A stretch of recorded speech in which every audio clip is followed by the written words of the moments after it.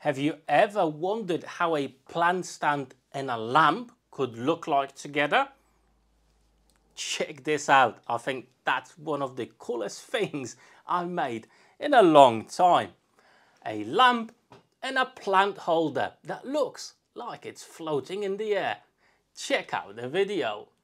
Welcome to my workshop. In today's video, we're going to be making a quite interesting, hopefully, and unique lamp stand something for flowers okay? Obviously for tiny ones depending on how big you want to go but this lovely little fella will have a nice and cushy place to grow. Now i do have some fantastic pieces of ash dark ash so hopefully this will be the right timber for the project and will give us really nice results. First of all though i need to cut it to smaller, more manageable sizes and then we need to plane the whole thing as these are rough sawn. First of all with the miter saw I'm just cutting them to about 38 centimeters long.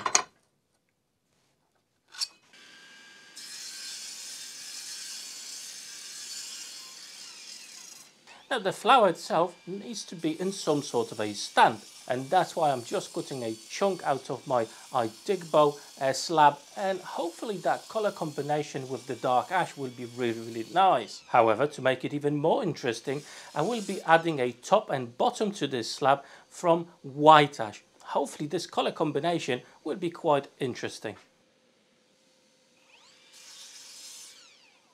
Now it's time for the jointer to make sure one of the faces and the sides are nice, flat and true.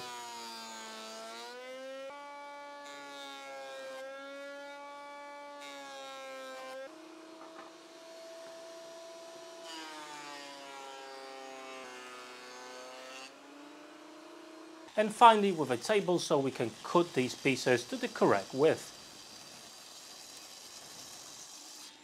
Now let's create the block that the plant will be sitting in. So that's the piece of iDigbo and these are two pieces of white ash, more or less to the same sizes, but we'll refine the final shape of this when this is glued up. So let's just glue this up. And later on, when this dries, we'll cut it to the final size and shape. I think this should give us a really nice and interesting look.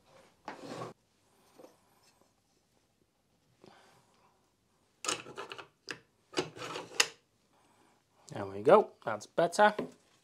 And I'm going to leave that to set. Right, for the next step we need to decide how we're going to construct our frame. You can just put the pieces against each other, use some wood glue, some screws, off you go. However, I think if we're going to do miters 45 around the perimeter these will look really really nice and it will give that extra fancy look to the whole thing. So let's head over to my miter saw and cut that 45 degree angles on all the pieces on both sides of each piece. And I'm just going to be using a stop block as well to assist me in making sure that every piece is at the same length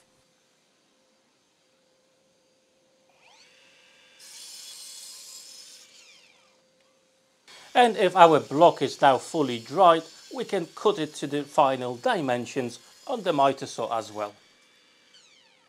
Okay, let's talk about dimensions here for a second so you know exactly what we've got. 35 centimeters wide, obviously they're all the same. When it comes to thickness, my boards are three and a half centimeters thick, but obviously yours don't have to be that thick. Um, deep, that's nine centimeters, and the block of wood that's nine and a half by nine by nine. Okay, so that's what we've got here. Right, the next job is to actually create a channel uh, for the LEDs that will go on two pieces. After that, we need to figure out a place to hold uh, the controller for the LEDs. Now this one is quite cool. It does have uh, motion detection. However, I'm not going to be using that. What I will be using is the option night and day. Okay, so I can set it up to night uh, so that will recognize it's dark and I'm to set it up for let's say three hours okay? The lights themselves the LEDs they're not grow lights they're not plant related lights and I, you definitely don't want to have them all night long on. So that's actually quite handy. And the final thing that we're to do well I do want to have the floating effect of this cube And what I'm going to do, I'm going to use a clear acrylic piece, okay? So I'm going to route out a small uh, channel over here and in the block as well. And basically we'll glue it on or maybe just the bottom will be glued on so we can actually remove the block. I don't know, we'll see how that goes. But uh, yeah, clear acrylic piece uh, that will go between them. Hopefully that will give us a really cool floating effect. However, first of all, let's jump into the router table and let's create the channel for the LED strip. Tell you what, this project is a little bit suck and see as you go. So um, I've actually do have a chamfer bit installed in my router table and I thought to myself, having a quite heavy chamfer in the middle would look quite good. So that's what I'm going to do now. I'm going to run a chamfer in the inside of the frame. Okay, I have swapped the router bit now to a straight 16mm router bit. That's to accommodate the LED channel I do have for my LEDs and it is 16mm wide. In total the depth of it needs to be at 7mm and I'm gonna do that in two passes as ash it is quite dense and hard with my Japanese saw and the frame itself I'm going to be cutting the LED channel strip to the correct size under the correct angle. Right, so that's the LED profiles. Obviously I've not glued them on yet. I just put them so we know how it looks like. Now we need to sort out the cube itself, okay, the position of it and how we're going to make it appear that it floats. Now I do have this acrylic rod. The diameter of this is one centimeter, so it should be fairly stable. It shouldn't wobble too much. So basically what I want to do is to cut it to the right size, uh, pre-drill a hole in the block and in the base, and we're just gonna glue it in place. Probably CA will be just enough for this. So I'm gonna mark up middle of that, middle of the base, and we'll head over to my pillar drill.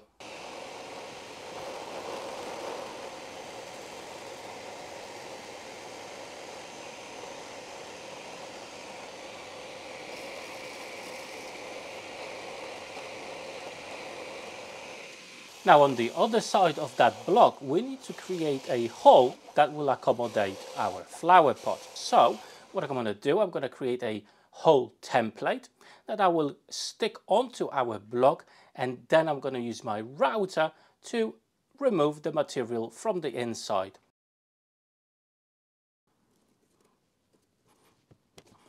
And on my route, as you can see, I do have a guide bush that will ride along the edges of our template.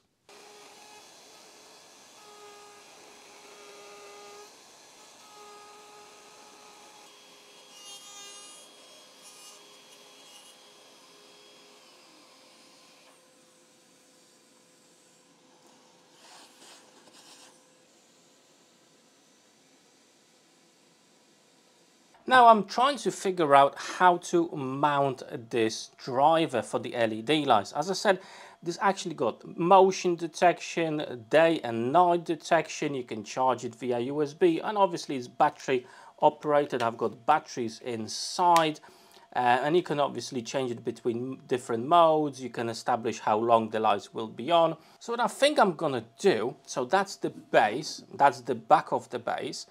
I'm gonna more or less place it let's say just maybe just over here okay? And I'm gonna take material out from the bottom and basically I'm gonna bury that just slightly just like that so it's not visible from the outside as you look at this contraption from the front. And I'm to use some velcro to attach it uh, to the piece of timber to the base so if I need to change the batteries or change the settings, I can just peel it off quite easily and it does have a tape on both sides. So hopefully that should be a good option. And again, I've used the double-sided tape trick. As you can see, I've created a border with some scrap pieces of MDF that my router bit that does have a bearing will be riding along it. Okay, and now it's time to actually pre-drill a hole in our base to allow the LED strip to get through and feed through the whole frame. Now before we're actually going to start putting this together is the perfect time to sand everything down. So I'm going to go through grit 80 and then 120. With the final sanding will happen after we assemble everything and clean it up and then I will hit it with grit 150 and that will be enough for this project. Now I'm going to be using a bit of CA glue to put the tracks in place and that will be sufficient. You don't really need anything else than that.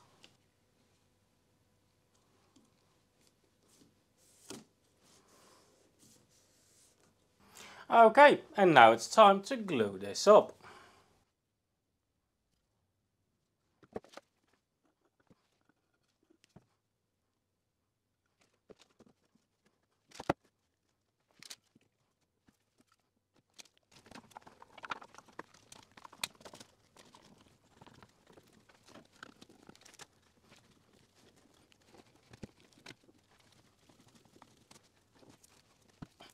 And I'm going to leave this to cure for a couple of hours.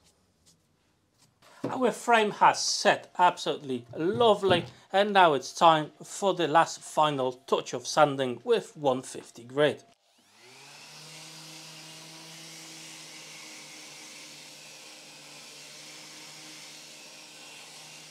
Alright and now it's time for a bit of finish before we actually install the LEDs and I'm using spray varnish satin. However, you can use any finish you wish, wax, oil, uh, anything you've got available in your workshop. For me, this is the quickest and easiest way uh, to sort this out.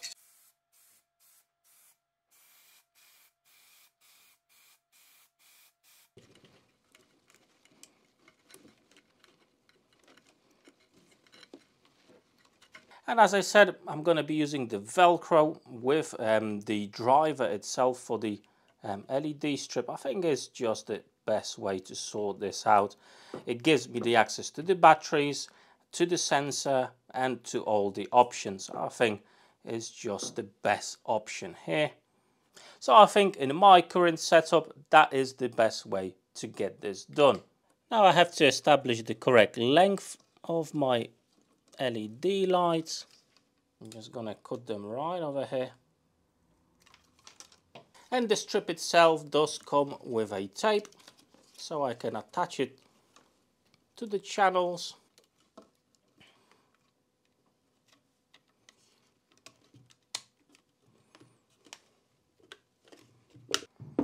I think this will look really, really nice.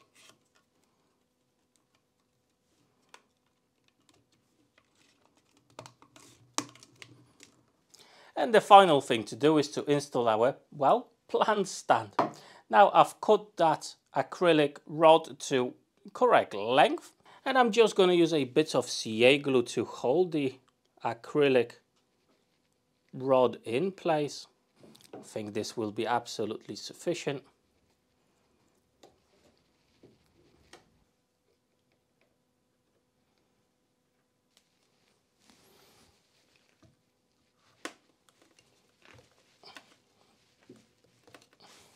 Just gonna grab my square to make sure it's nice and square.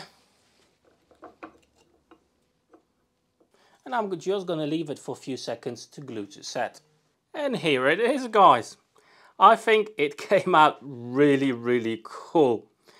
Not seen many of these types of uh, plant holders lamps or whatever you're gonna call this and from afar you can't really see the acrylic rod so it seems like the flower is floating inside of the frame. Tell you what, I'm really pleased with the results over here. Super, super cool thing. Now, I hope you enjoyed this little interesting, a bit different project. Something definitely quite unique but you know it could be a very interesting thing in your house somewhere on a display. And I, to be fair I actually dig it. It's quite cool Now I'm going to take it to my house and find a place for it and I hope you enjoyed today's video. Now I want to thank you my patrons for the ongoing support and if you want to join the Patreons and support my channel as well there's some links down below in the description of this video. However, don't go just yet. I do have some really cool playlists just over here. Click on those and maybe you'll find your next video to watch. However, for today, that's it. Thank you very much. Take care.